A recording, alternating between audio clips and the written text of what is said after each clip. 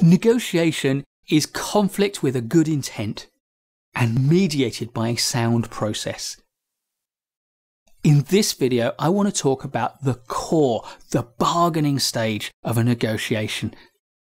The point where you and the other parties get together and craft an agreement.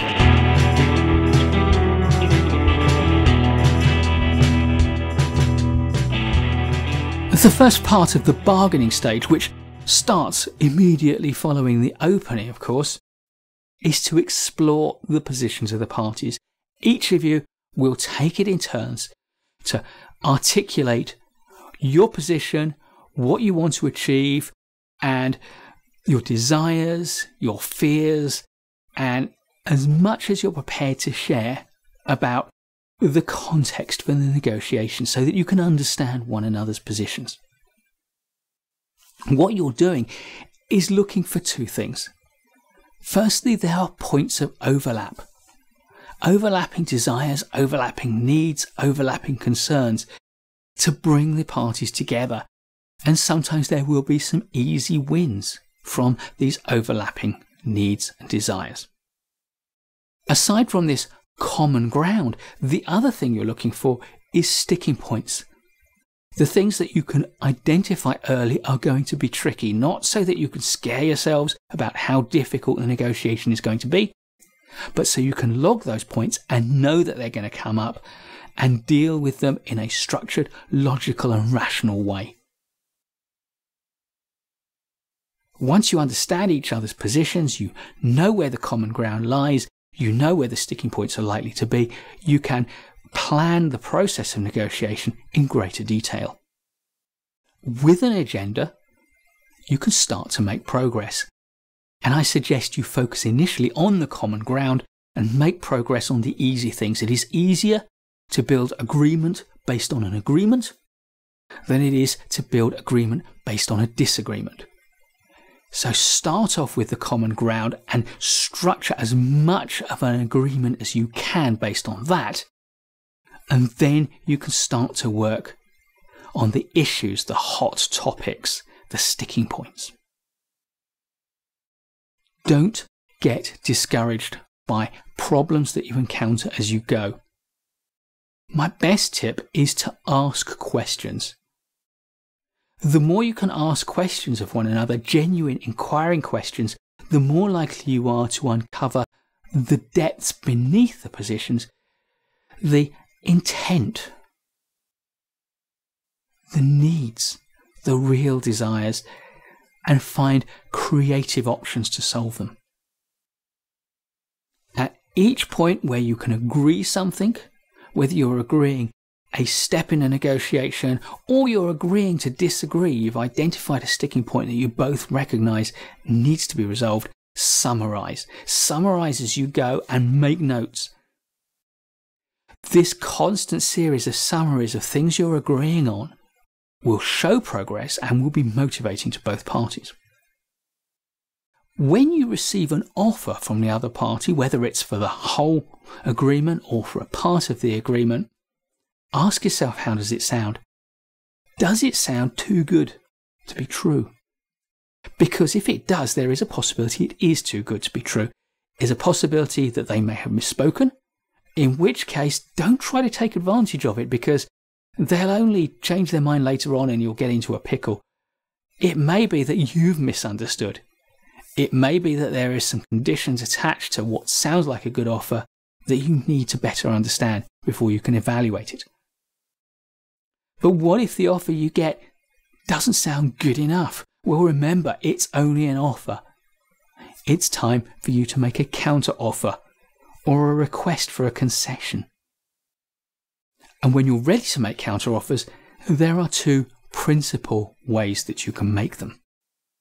The first is the if you, then we formulation. If you were to do this, if you were to accept that, if you were to commit something, then we would be able to do, accept, commit that.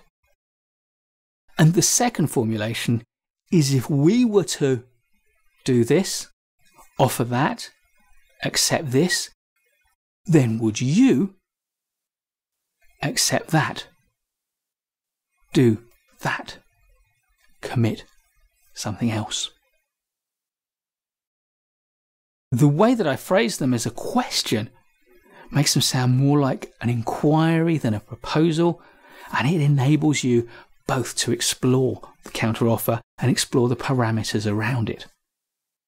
It comes across as a lot less pushy and a lot more collaborative than making the offer saying, We'll do this and we want you to do that.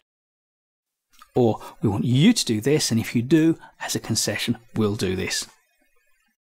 That approach can very quickly break rapport and deadlock a negotiation.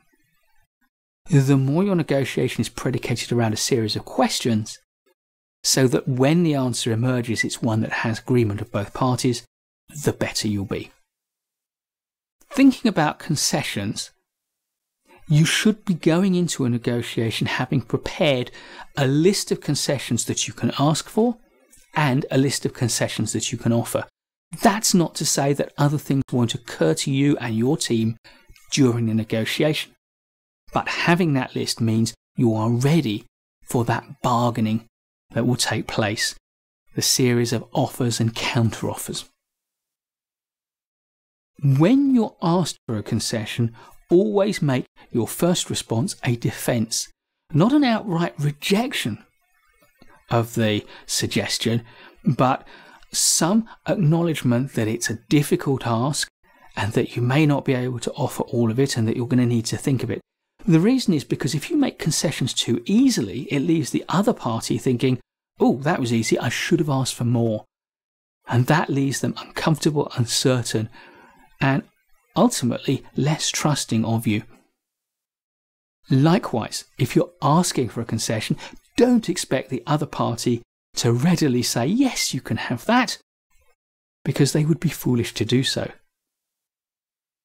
The cardinal rule, however, is only make a concession when you get something of equal value to you in return. And as requests for concessions continue, my recommendation is that you should make each concession smaller than the one before.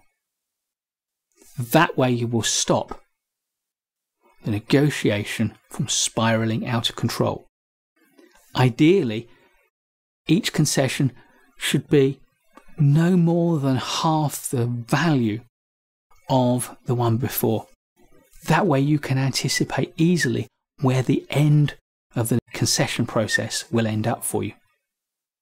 Another tip is to look for concessions that you can make which have a relatively low cost to you but a high value to the other party. These will seem like a good deal to them, and for you, there's nothing much in it. Remember that if you are a seller, for example, then the price you pay for components for products is considerably less than the buyer will need to pay. If you have access to ready funds, then the time value of money may mean that getting paid early is worth more to the other party than it is to you.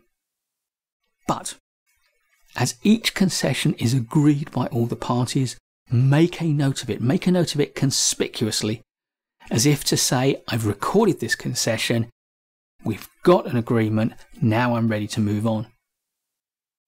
And my preferred approach is to actually say, This is what I have recorded, and read out your record and make sure everyone around the table agrees that there and then and is able to write down exactly the same thing. A whiteboard is a great way of recording that or having an independent note taker that both parties can trust. Finally, what if you get stuck?